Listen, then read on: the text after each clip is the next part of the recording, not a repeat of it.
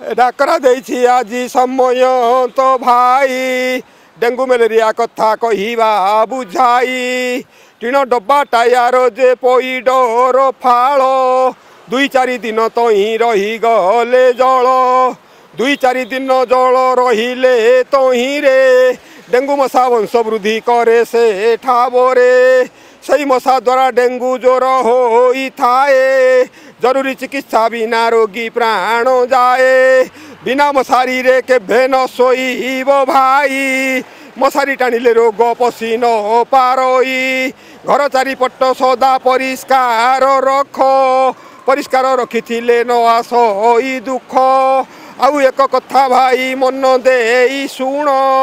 Diarrhoea ରୋଗ ପାଇଁ କେଉଁ ଯତ୍ନ ମାନ? ପଚା ଫଳ ବାସି ଖାଦ୍ୟ କେବେ ନ ଖାଇବ? ଜରୁରୀ ଭାବି ପାଣିକୁ ଫୁଟାଇ ପିଇବ। ଶୌଚ ସାରିଣ ଖାଦ୍ୟ ଖାଇବାର ବେଳେ ହାତକୁ ଧୋଇବ ଭାଇ ଅତି ଯତନରେ। ମନେ ରଖି ସର୍ବଦା ଗରମ ଖାଦ୍ୟ ଖାଅ। ନିଧି ବୁଢ଼ା କଥା ମାନି ଆନନ୍ଦରେ ଥାଅ। ଶୁଣ ଶୁଣ ଜିଲ୍ଲାବାସୀ ନାନୀ ହେ ଭାଇନା। ଭାଇନା ହେ ଘରେ ଘରେ ବସା ପାଇଖାନା। ଭାଇନା ହେ ଏଣେ ତେଣେ ମଳ ତ୍ୟାଗ କଲେ। ଆମ ପରିବେଶ ସୁସ୍ଥ ନ ରହିବ ଭଲେ। ନିରୋଗ ଜୀବନ ପୁଣି ସୁସ୍ଥ ପରିବେଶ। ନିଧି ବୁଢ଼ା କଥା ମନେ ରଖିବ ଅବଶ୍ୟ। ନିଧି ବୁଢ଼ା କଥା ଭାଇ ମନେ ରଖିଥିବ। ନ ରଖିଲେ ନିଜ ଦୋଷେ କଷ୍ଟ ତ ପାଇବ। ଡେଙ୍ଗୁ ରୋଗ ହେଲା ବୋଲି କେମନ୍ତେ ଜାଣିବ। ଦେହ ସାରା ନାଲି ନାଲି ଦାଗ ଫଳିଯିବ। ଦେହରେ ଯେତେ ଗଣ୍ଠି ଅଛି ଘୋଳା ବିନ୍ଧା ହେବ।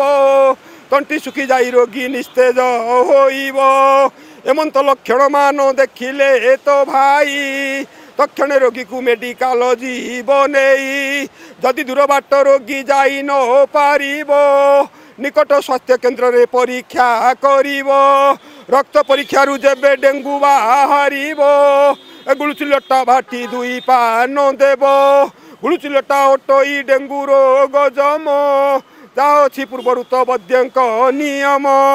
ଏ ଡାକରା ଦେଇଛି ଆଜି ସମୟ ତ ଭାଇ। ଡେଙ୍ଗୁ ମ୍ୟାଲେରିଆ କଥା କହିବା ବୁଝାଇ। ମୁଁ ସଭାପତି ଅଛି ବିଦ୍ୟାଧର ଷଣ୍ଢ ପାଇକ ଆଖଡ଼ା ବୋଲି ଗୋଟେ ଆଖଡ଼ା ଅଛି। ମୁଁ ପୂର୍ବରୁ କଳାକାର ଥିଲି ତେଣୁ ପାଇକ ଆଖଡ଼ାଟା କରିଛି। ସେ ପାଇକ ଆଖଡ଼ା ତରଫରୁ ଏ dengue malaria diarrhoea M D D ପ୍ରୋଗ୍ରାମଟା ମୁଁ ଦଶ ବାରଟା ଜିଲ୍ଲା ବୁଲିକିରି କରିସାରିଲେଣି ଆଜିକି ବାର ମସିହାରୁ। ବୁଲିଲେଣି ତେରଟା ଜିଲ୍ଲା। ତେରଟା ତେରଟା ଜିଲ୍ଲା ଆମର ରାୟଗଡ଼ା କୋରାପୁଟ ଭଦ୍ରକ ବାଲେଶ୍ୱର କେନ୍ଦ୍ରାପଡ଼ା ଯାଜପୁର ଆମର ଜଗତସିଂହପୁର କଟକ ପୁରୀ ଖୋର୍ଦ୍ଧା ଆଉ ଏତିକି ବୁଲିଛି ଗଞ୍ଜାମ। ନିଜ ଆଡ଼ୁ କରିବାର କାରଣ ହେଉଛି ଆମର ସରକାରଙ୍କ ମହଲରୁ ହେଉ ସଚେତନତା ହେଉ ଆମର ଯେମିତି ଫାଇଲ ଏରିଆ କମି କମିଗଲା। ମ୍ୟାଲେରିଆ ବି ବହୁତ ଥିଲା ଆମର ଓଡ଼ିଶାରେ କମି କମି ଗଲାଣି ଡେଙ୍ଗୁ ବାବଦରେ ଲୋକ କେହି ଜାଣିନାହାନ୍ତି। ଡେଙ୍ଗୁର ମଶା ଆଉ ମ୍ୟାଲେରିଆ ମଶା ୟା ଭିତରେ ଅନେକ ଫରକ ଅଛି। ସବୁ ମଶା ରାତିରେ କାମୁଡ଼ିଲା ବେଳେ ଡେଙ୍ଗୁ ମଶା ଦିନରେ କାମୁଡ଼ିଥାଏ। ସେ ବାବଦରେ ଗାଁ ଗାଉଲିରେ ମା ଭଉଣୀମାନେ ସମସ୍ତେ କେହି ପ୍ରାୟ ଜାଣନ୍ତିନି।